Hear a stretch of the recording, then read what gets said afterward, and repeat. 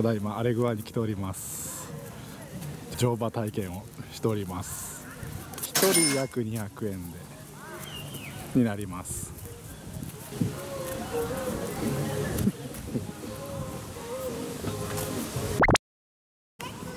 初めて馬に乗っておりますかなり結構して高い視点から見えます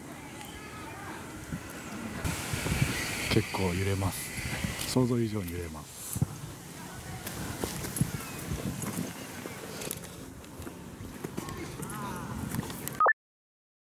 お水料かかりました。約100円です。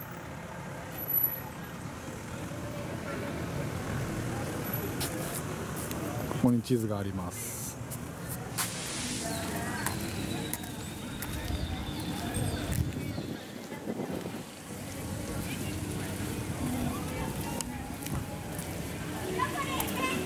カフェもあります。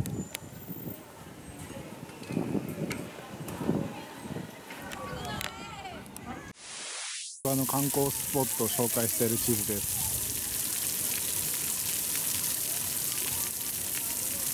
反対側にはアレグワ市の歴史が書かれております今辛い湖に来ております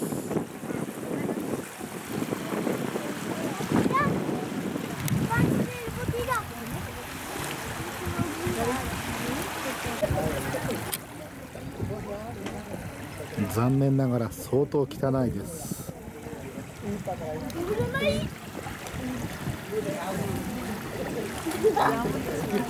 インクみたいな感じです。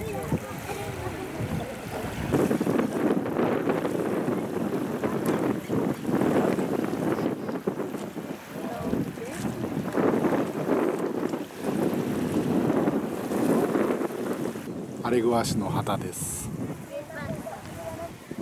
馬も間近で見ることができます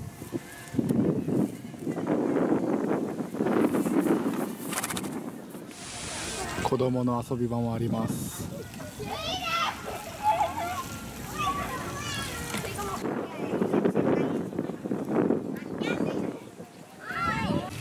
昼寝するところもあります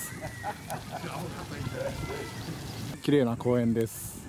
荒れ具合に来た時はぜひ立ち寄ってみてください。